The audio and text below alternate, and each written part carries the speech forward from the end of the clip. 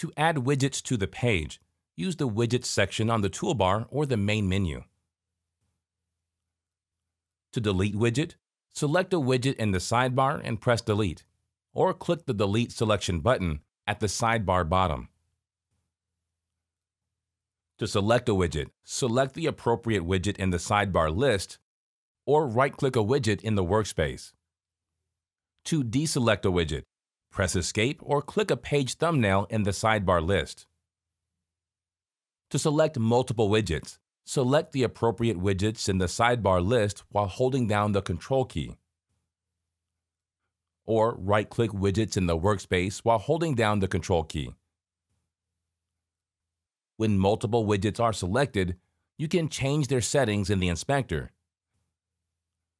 These settings will apply to all selected objects. To change the object title, double-click the text in the sidebar and enter the text of the title. You can select the font style in the Font Inspector.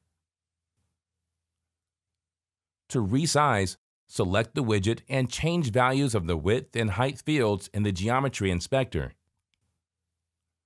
Or move the rectangular handles around the widget. To move an object, left-click and drag the object within the workspace. Or change values of the X position and Y position fields in the Geometry Inspector.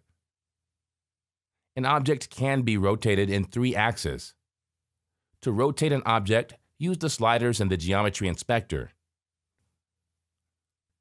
Or move the mouse pointer over a rectangular handle until it changes to a rotation icon left-click, and rotate the object.